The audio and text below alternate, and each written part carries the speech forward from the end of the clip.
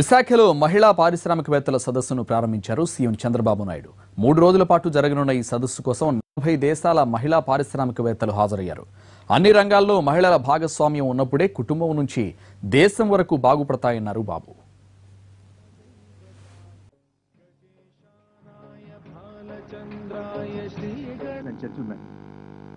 At the outset, attendant benefits from the Pradesh, the state which has been in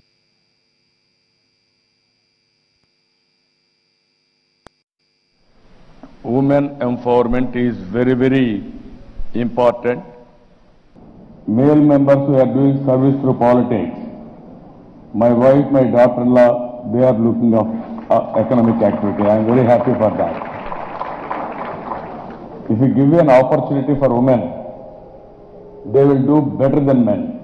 I am having total confidence on that. Long back, I have given reservations for women in employment and also education. That is 33 percent. At that time, so many people asked me, if you can give 33 percent if you give, on merit also they will get, then they may get, they may cross 50 percent, so that boys will get less seats.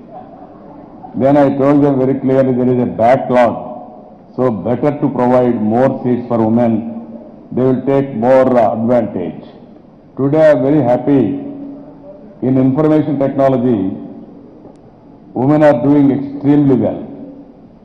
If you go to any IT companies, compared to boys, girls are